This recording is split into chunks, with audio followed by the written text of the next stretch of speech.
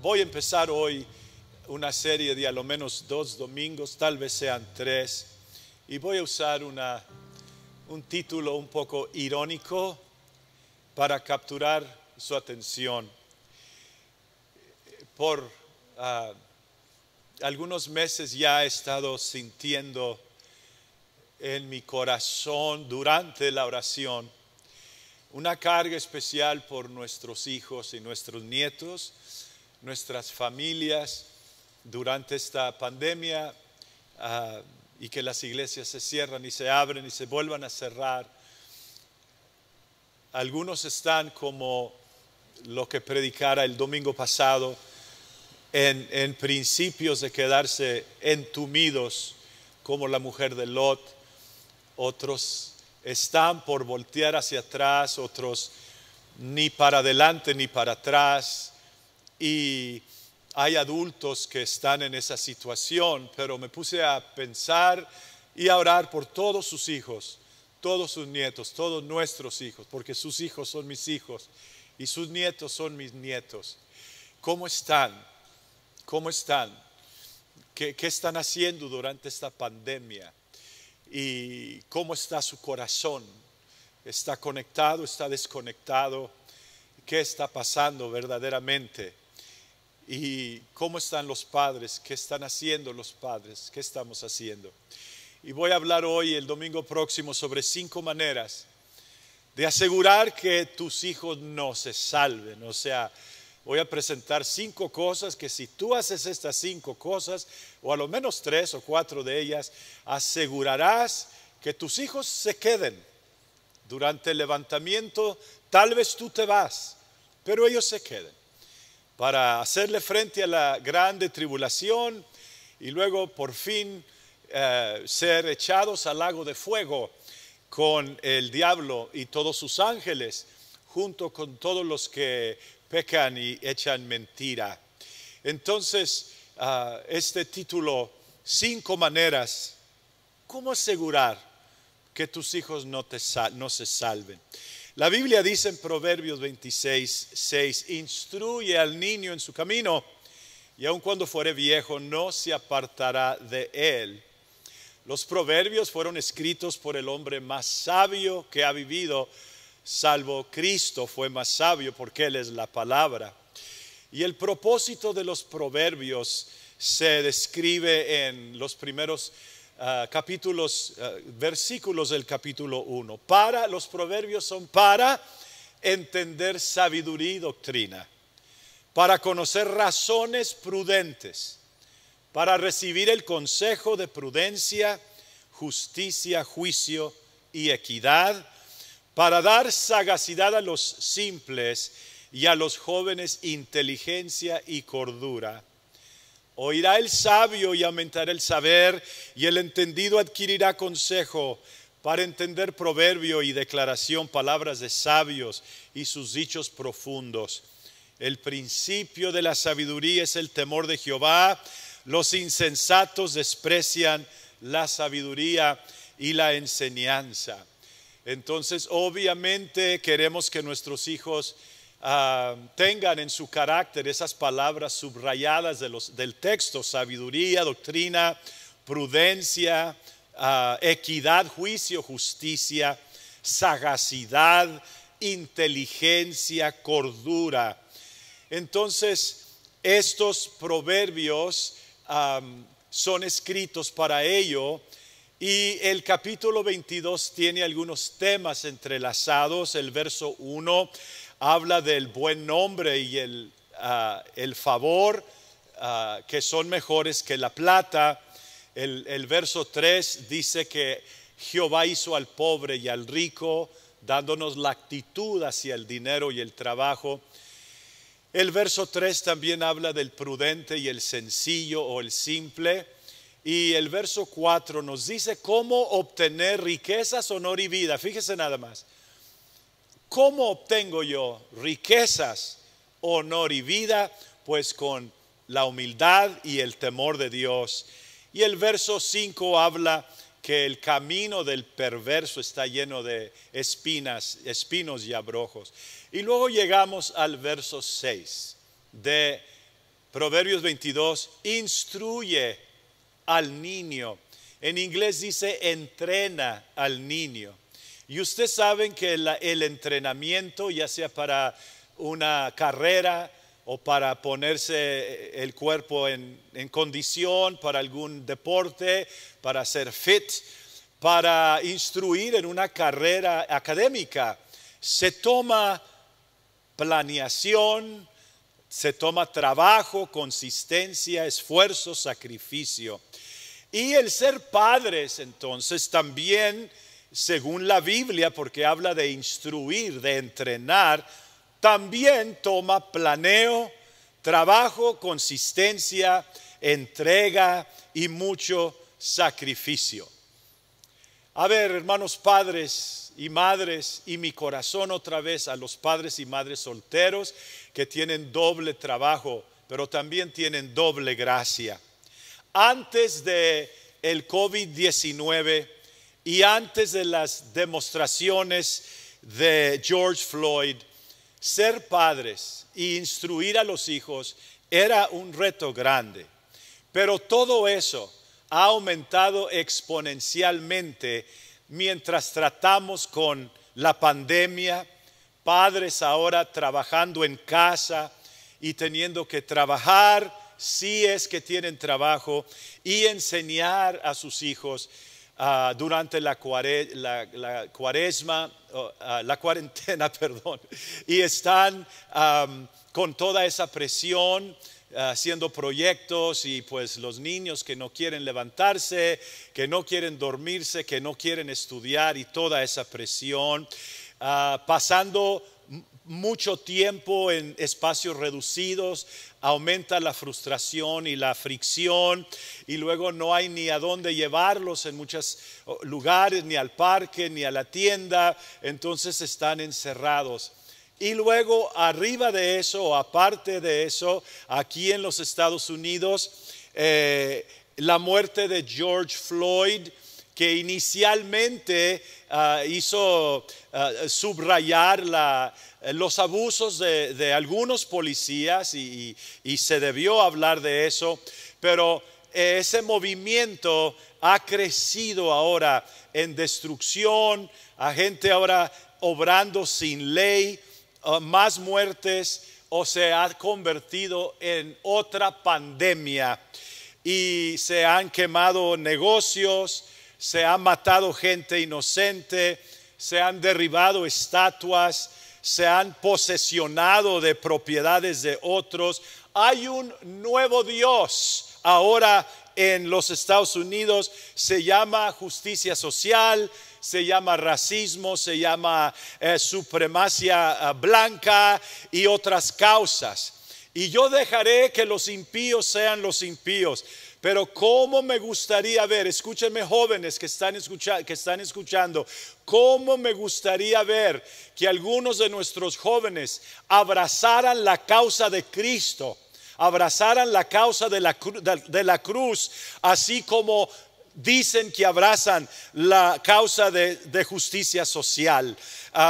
están ustedes muy conmovidos y muy enfocados en la muerte de un pobre hombre y él merece nuestra, nuestra, obviamente, nuestra consideración. Pero hubo otro hombre que también fue muerto en la cruz del Calvario y esa causa es mucho más grande y parece que nuestros jóvenes están abrazando causas terrenales naturales, horizontales, y aunque pueden ser importantes en un momento dado, no hay nada más importante que la causa de la cruz, que el Evangelio y la predicación del Evangelio. Ya deja esas cosas, te estás alimentando con las redes sociales y con tanta cosa, cosas que aquí se van a quedar. Ahora sus hijos, hermanos, despierten, despierten.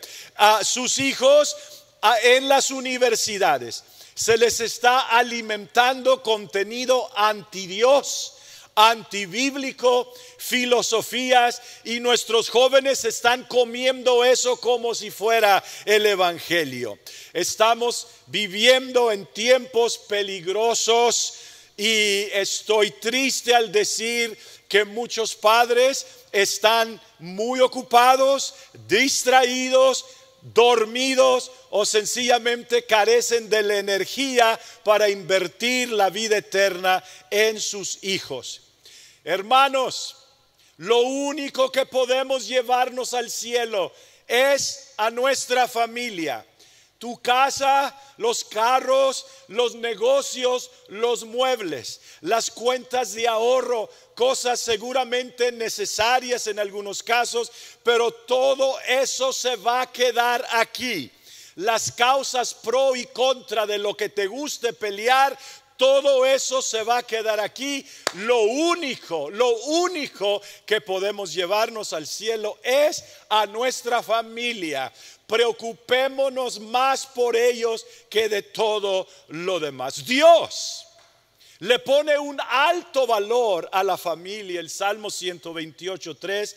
Tu mujer será como vid que lleva fruto a los lados de tu casa. Tus hijos como plantas de olivo alrededor de tu mesa, algo elegante y hermoso. Salmo 127. He aquí herencia de Jehová son los hijos, cosa de estima el fruto del vientre, como saetas en manos del valiente. Así son los hijos habidos en la juventud Bienaventurado el varón que llenó su aljaba de ellos. No será avergonzado cuando hablare con los enemigos en la puerta. Y el Salmo 71, 18. Aún en la vejez y las canas, oh Dios, no me desampares hasta que anuncie tu poder a la posteridad. Hermanos, no nos podemos, ah, no podemos descansar y dejar de trabajar en nuestra familia hasta que hayamos anunciado el poder de Dios a la posteridad. Y para, para anunciar el poder de Dios necesitamos haber experimentado el poder de Dios y la mejor manera es haber recibido el don del Espíritu Santo. Los padres necesitamos recibir, tener, guardar el Espíritu Santo en nuestras vidas. La enseñanza empieza desde el Antiguo Testamento. En Deuteronomio 6, eh, Dios tuvo mucho cuidado en enseñar a Israel, comunicar lo que él quería. Estos pues son los mandamientos, estatutos y decretos que Jehová vuestro Dios mandó que os enseñase para que los pongáis por obra en la tierra a la cual pasáis vosotros para tomarla. Para que temas a Jehová tu Dios, guardando todos sus estatutos y sus mandamientos que yo te mandé, tú, tu hijo y el hijo de tu hijo, todos los días de tu vida para que tus días sean prolongados. Oye pues, oh Israel, y cuida de ponerlos por obra para que te vaya bien en la tierra que fluye leche y miel y os multipliquéis como te ha hecho como te ha dicho Jehová el Dios de tus padres. Oye Israel, Jehová, nuestro Dios, Jehová uno es, y amarás a Jehová, tu Dios, de todo tu corazón, de toda tu alma y con todas tus fuerzas. Y estas palabras que yo te mando hoy estarán sobre tu corazón y las repetirás a tus hijos y hablarás de ellas estando en tu casa y andando por el camino y al acostarte y cuando te levantes. A ver, los líderes que están aquí en Zoom pueden dar un aplauso allí, gloria al Señor. Pueden darlo, Dios los bendiga. Cinco maneras para que tú asegures que tus hijos no te salven. Hoy solo daré dos, el domingo próximo daré tres. Número uno los padres, manténganse tibios y desconectados. Usted, que su vida espiritual no esté ni, ni muy, muy, ni tan, tan, y a lo menos que uno de los dos se mantenga espiritualmente casi frío, eso es muy importante, manténgase desconectado, uh, aprovechese del COVID 19 y de toda la situación y escóndase tras las restricciones de la pandemia. y el espíritu detrás de la pandemia, porque no hay solo pandemia, hay un espíritu tras esa pandemia, para que le dé bastantes excusas para alejarse de Dios. Usted allí, usted no ha cambiado nada todavía en su exterior, pero su interior ya ha comenzado a cambiar mm, y como la mujer de Lot, ya comienzan a enfriarse algunas cosas en su vida de ser posible, cambie el texto de Deuteronomio 6, 1 al 7, que diga algo así. Estos pues son las sugerencias, ideas y opiniones que Jehová vuestro Dios sugirió que os pases por alto para que los ignoréis en la tierra la cual pasáis vosotros para tomarla, para que te burles de Jehová tu Dios, no guardando, ignorando todas sus ideas y sus sugerencias que yo te sugiero. Tú, tu hijo y el hijo de tus hijos, pues olvídate eso. No solo desconéctate de Dios, desconéctate de tus hijos y de tus nietos sería mucho mejor.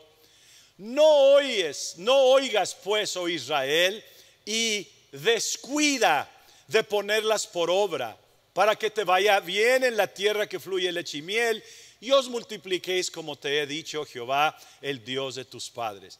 No oigas, Israel, Jehová nuestro Dios, no, no, no, puede ser dos o puede ser tres, como mejor te parezca y como mejor le parezca a tus hijos si se pueden acomodar en una iglesia no unicitaria, que no predican del nombre, que no bauticen en el nombre, que no hagan nada en el nombre, solo que se sientan bien con sus amigos y sus amigas, pues dile que Jehová su Dios varios es.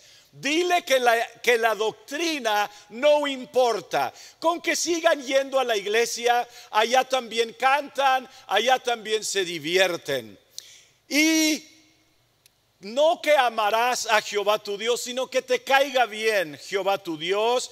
y, y tú debes amarle con parte de tu corazón y algo de tu alma y con algunas de tus fuerzas que te sobren. Y estas palabras que yo te sugiero hoy estarán en una lista olvidada por allí. Y cuando tengas tiempo o casi nunca hablas, habla de ellas ni cuando te levantes, ni cuando te acuestes, ni cuando andes por el camino. Seguro que es irónico lo que acabo de leer, pero tristemente está muy cerca a la realidad. Este es el núcleo, el Shema. Esta es la enseñanza que Dios dio a su pueblo con relación a cómo los padres deben instruir, deben ah, entrenar a sus hijos. Pero para que tus hijos se pierdan, pues haz caso omiso de todo eso. Si es posible ah, que uno de los padres, ya sea el papá o la mamá, pero preferible el padre, que a lo menos tenga un agujero en su sombrilla. ¿Qué es eso de agujero en su sombrilla? Dios ha puesto jurisdicciones, derecho de hablar, y una de ellas es el Padre. Y el Padre, según 1 de Corintios 11, Cristo es la cabeza del varón, Dios de Cristo y el varón de la mujer. Y cuando el varón, el hombre, el Padre, tiene un hoyo, un agujero en su sombrilla o en su, sí, en su sombrilla, entonces procura tener por allí para que el diablo no tenga tanto problema para alcanzar a tus hijos. Porque hay solo dos maneras como tus hijos se pierden realmente o pecan. Una es por tus pecados no confesados, por ahí se mete el diablo y te roba tus hijos, o si ellos voluntariamente se, se, retiran y se salen de debajo de tu autoridad. Y realmente no tiene que ser un pecadote grande con uno chiquito, pero entre más hoyos en tu en tu sombrilla, entre más agujeros, eh, ora menos, que tu caminar con Dios sea muy casual y recuerda, recuerda que lo que tú toleras con moderación, tus hijos van a practicar en exceso. Así que tolera lo más que puedes. Esté frío usted, tibio, casi al punto donde Dios te va a vomitar de la boca, más o menos así. Y tus hijos tendrán una buena probabilidad de no salvarse. Número ah, dos, corrígelos con autoridad dividida e ira. O sea, ah, para, que tus hijos no, no se salven, no los entrenes. Ignora Proverbios 22, 6. Pero si los vas a entrenar, si los vas a instruir, traten de usar autoridad dividida. Usted sabe qué es eso. El papá dice algo, la mamá dice lo opuesto. La mamá dice sí, el papá dice que no. Y es mejor argumentar en frente de los hijos para que ellos puedan mm, calcular cuál es el camino de menos resistencia. Y como el agua, seguramente lo seguirán. Por ejemplo, al papá no le gusta una palabra que dice uno de los muchachos, o un artículo de ropa que trae la niña, o un juego y trata de corregir la situación, pero la madre, como es ah, ah, abogada de defensa, pronto brinca y defiende a la criatura con frases como, ¿qué tiene de malo? o no exageres, o todo lo están haciendo, o diciendo, o usando, o jugando. La idea aquí es asegurar que tu hijo tenga una opción y una razón para desobedecer. Eh, eh, cuídate, no se metan en el cuarto los padres para arreglar los problemas en privado, no, argumenten, discutan frente a ellos y luego quédense enojados unos tres días para que los hijos sepan que algo verdaderamente está mal. Y luego papá nomás levanta las manos y di, ay, hagan lo que quieran. Si es un artículo de ropa o un juego que el, que el papá dijo que no, mamá, de ser posible, escóndete tras la espalda de tu esposo, dile a tu, a tu hija o a tu hijo que no sepa tu papá, instruyelo solo a decir, a jugar o a usar eso cuando no está el papá. De esta manera puedes enseñarles cómo desobedecer a la autoridad y ser hipócritas a la misma vez. Tú sabes matar dos pájaros con una piedra. Y si a la madre no le gusta algún amigo o amiga o novio o novia, papá, haz lo mismo. Anuncia, preferiblemente argumenta en frente de toda la familia para que sepan que tú eres el eslabón débil de la familia. La autoridad dividida entonces asegurará que tus hijos escuchen más a tus amigos que a ti, que escuchen más a las redes sociales que a la ley y que escuchen más al diablo que a Dios. Definitivamente ignora el versículo en Eclesiastés 4:9, mejores son dos que uno, porque tienen mejor paga de su trabajo, porque si cayeren, uno levantará a su compañero, pero hay del solo que cuando cayere no habrá segundo que lo levante. Lo que quieren entonces, padres, es no estar unidos, estar en desacuerdo en muchas cosas, las más que hay, mejor. Y así entonces se inyectan confusión, se inyecta autoridad dividida a la familia y ellos entonces no van a hacer ni lo que dice el padre ni lo que dice la madre, van a hacer lo que dicen sus amigos. Pues hasta ahorita espero que no haya ni un amén todavía.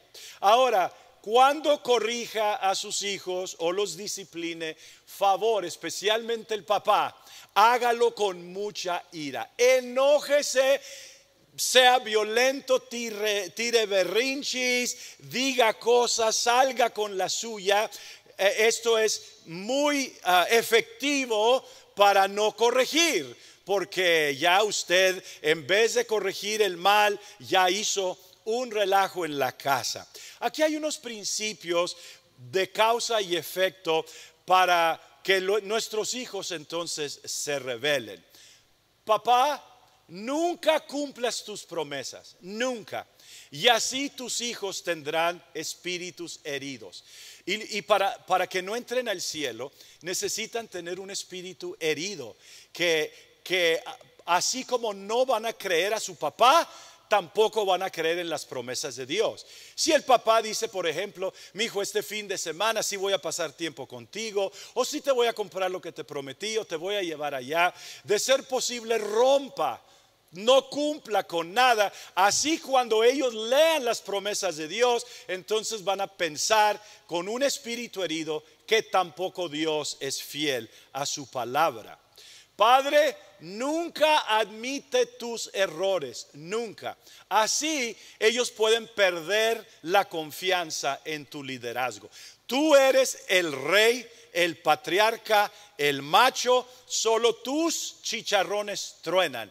Y solo lo que tú dices, yo soy de, usted llena el blanco allí. ¿Qué? Michoacán, Durango, Guadalajara, Los Ángeles, Rancho o Rancho Cucamonga. Yo no sé de qué rancho es usted, yo sé qué rancho soy yo, pero por favor no admita sus errores, aun cuando hay pruebas y evidencias que usted se equivocó. Usted cierre, calla a la y a la familia, con váyanse para allá. Yo aquí mando yo que aquí trabajo. Entonces, así no hay liderazgo en la familia. Nunca pida perdón. Oh no, esto muestra mucha debilidad. Así ellos podrán reaccionar a su, a su, orgullo. Cuando un padre no pide perdón, los hijos entonces saben que es un orgulloso. Y si mi papá es orgulloso, pues yo también puedo ser orgulloso y nunca les diga que antes de la caída viene, viene el orgullo, viene la vanidad, viene la altiveza, todo eso. Así que por favor, usted manténgase allí, usted siempre está bien, usted siempre dice bien, usted casi es la cuarta persona en la Trinidad. A usted nadie le puede decir nada. Nunca mantenga prioridades correctas para ellos.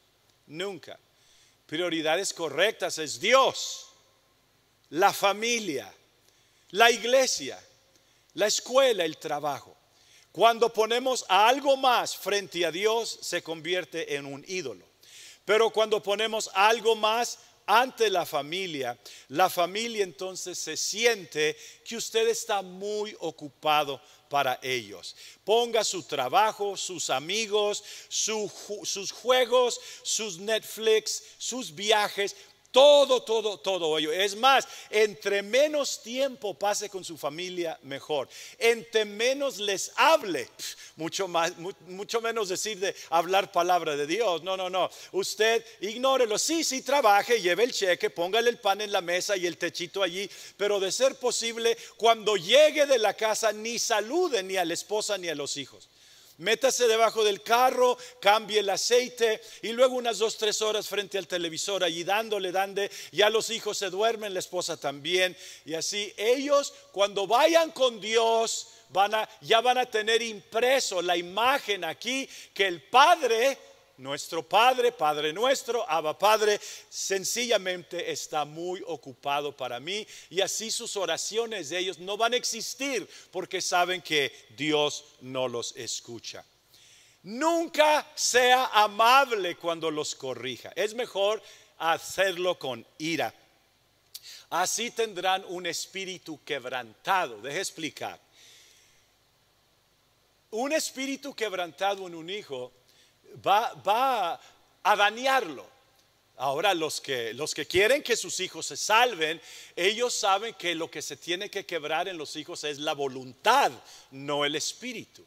Entonces cuando usted corrija, olvídese de la voluntad y quiebreles el espíritu, maltrátelos, humíllelos, dígales palabras ásperas y, y usted, usted muestre que la autoridad no es genuina, no es dulce, no es divina, no es de Dios, no es delegada, que es áspera, que es un que usted manda allí entonces y no sea amable cuando los corrija, mucho menos sentarse con ellos, explicarles por qué les va a corregir, decirles eh, eh, el delito que cometieron, el mal que hicieron, el error que cometieron y, y nunca les diga, mira, yo también cometo errores, pero Dios me perdona a mí y Dios te puede perdonar a ti. Nada de eso.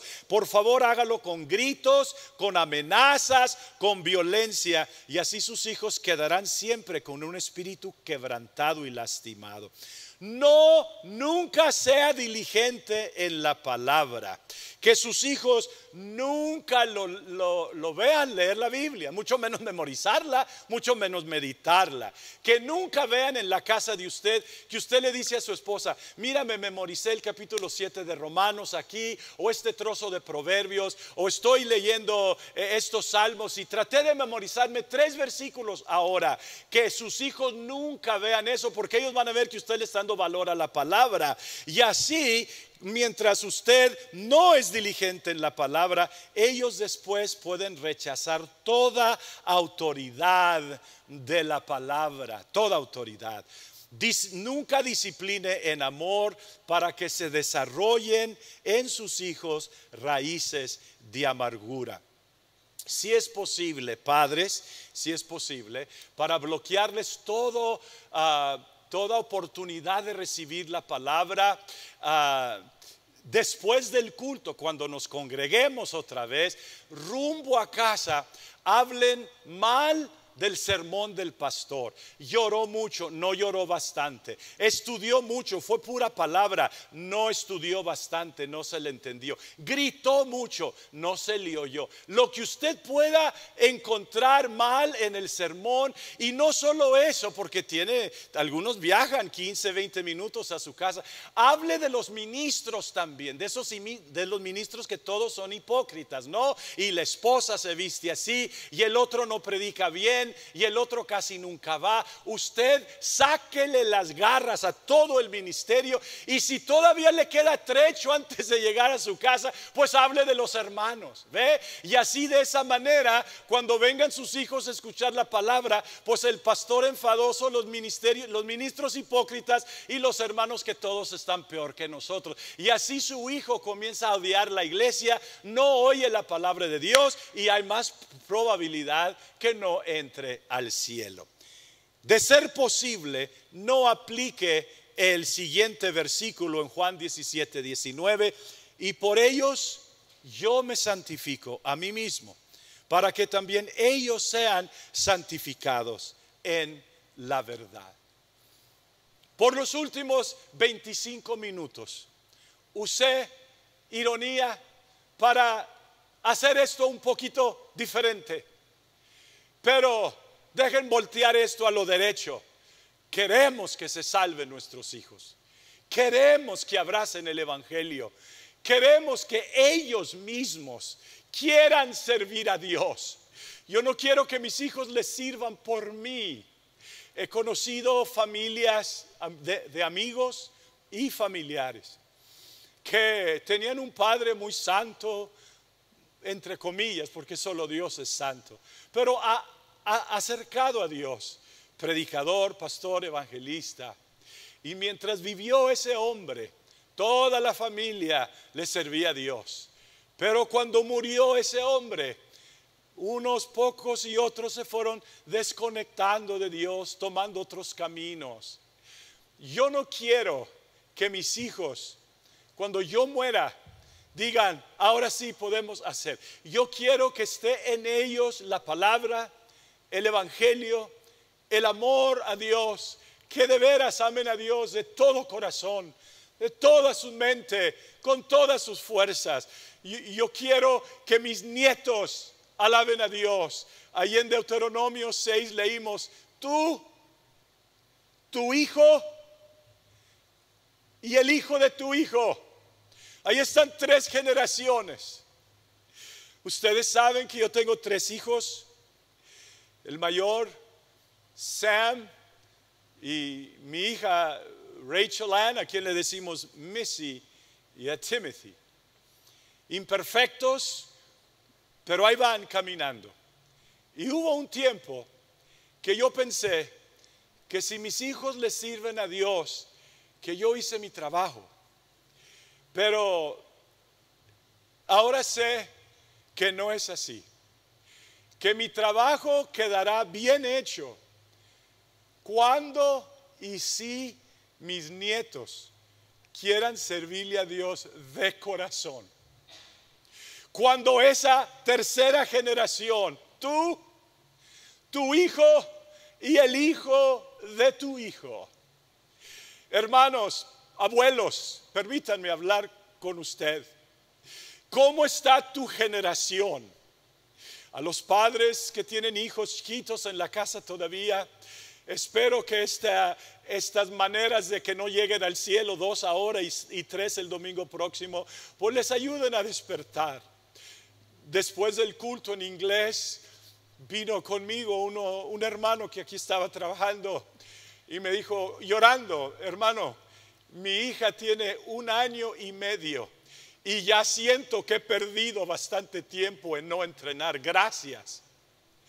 Pero ¿qué de los abuelos que tus hijos ya están casados y tus nietos ni hay semblante en ellos que su abuelo es siervo de Dios, que su abuela es mujer de oración?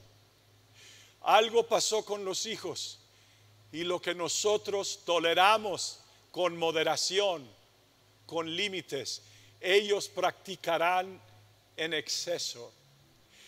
Y este mes que hemos estado orando, y espero que estemos orando, y ayer que la oración fue para las familias, en mis tiempos de oración tomé ah, como 90 minutos y oré 10 minutos por cada uno de mis nueve nietos.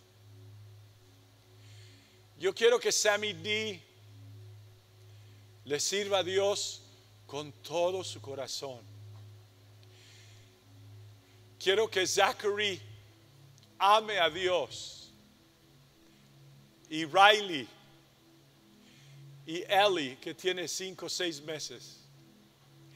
Quiero que Samuel Evan León y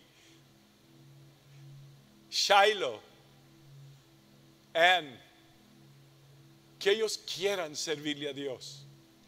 Quiero que Mary y Emma y Hunt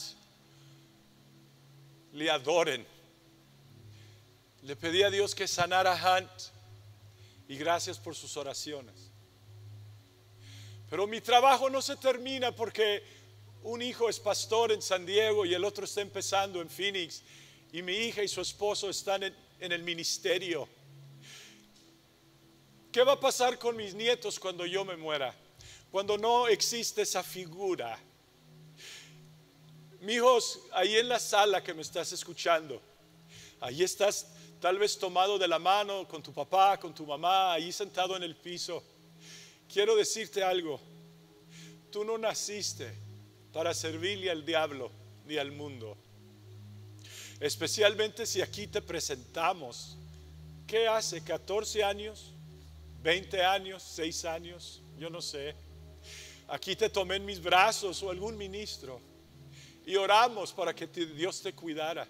Tú no naciste para ser un fumador de marihuana, un alcohólico. Tú no naciste para andar en fiestas allá, tomando y fornicando y viviendo la, la vida loca. Tú no naciste para ser homosexual o perverso. Tú no naciste para estar atado, encadenado en la pornografía. Tú no naciste para amar el mundo. Y yo sé porque no solo los tres que mencioné y los nueve que mencioné de mi familia son mi familia, ustedes también son mi familia. Y, en mis oraciones puse a mi familia bajo la sangre de Jesús y puse a toda esta iglesia y nuestros hijos y nietos bajo la sangre de Jesús, a todas las iglesias fuente de verdad bajo la sangre de Jesús. Te quiero decir algo, papá. El diablo aborrece a tus hijos con la misma intensidad con que Dios los ama. Él no quiere que se salven. Él quiere pervertir sus mentes ya. Él quiere capturar sus su mente ya. Él quiere encaminarlos y les pone luces y tentaciones y les pone de todo a la mano, literalmente. Y los padres, hermanos, disculpen, pero estamos dormidos. Si es el mes de julio, ya el 19, y usted no ha orado seriamente por sus hijos perdidos. Oiga, tiene hijos perdidos. Usted no tiene ni tiempo ni negocios de estar viendo televisión. Sus hijos están a qué? A unos segundos, a un día, a una semana, a un año del infierno. Hermanos, viendo las cosas que están pasando. El domingo próximo voy a hablar un poco de los padres pasivos. Los padres pasivos crían monstruos. ¿Qué están haciendo, hermanos? Yo les propongo que, que el que guste me siga. Me siga. Yo estoy orando por hijos casados de ustedes que no quieren nada con Dios. Pero alguien está orando y yo estoy seguro que ustedes, en la mayoría de los casos, están orando también.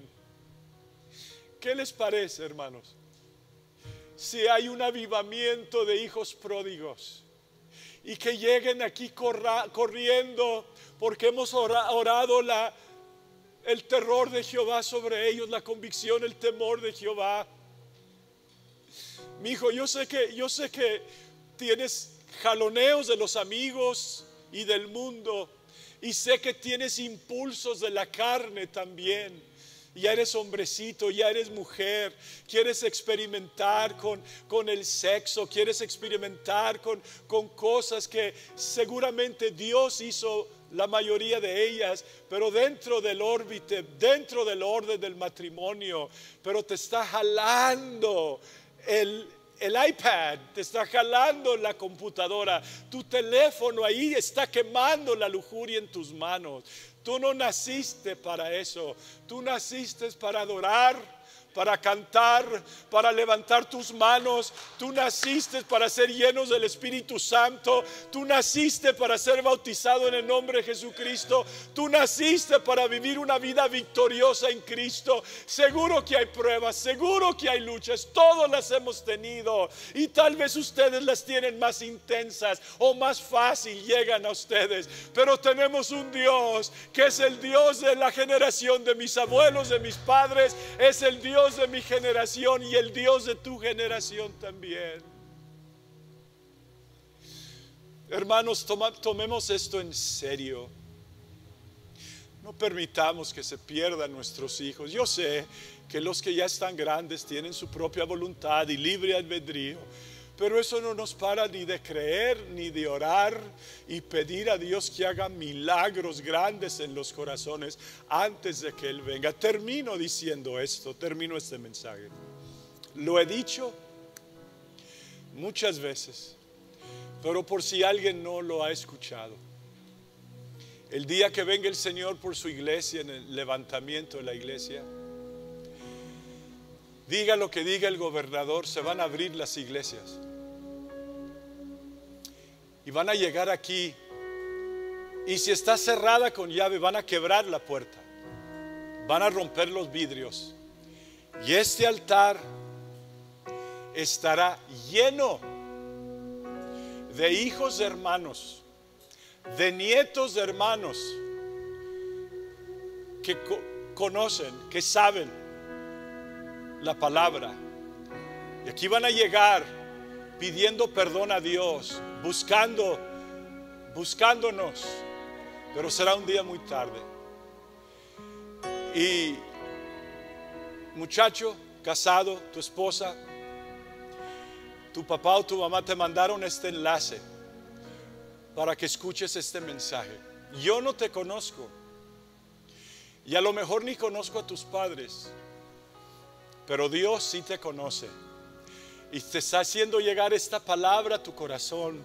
Y yo solo te pido que la escuches y que busques a Dios, porque queremos irnos con Él todos, todos. Que la bendición sea para ti y para tus hijos y para los hijos de tus hijos. Y que ni uno se quede aquí, hermanos. Los que están, tienen hijos chicos en casa, les voy a pedir que se hinquen allí. Y yo voy a, dar autoridad si, si, es necesario y posible.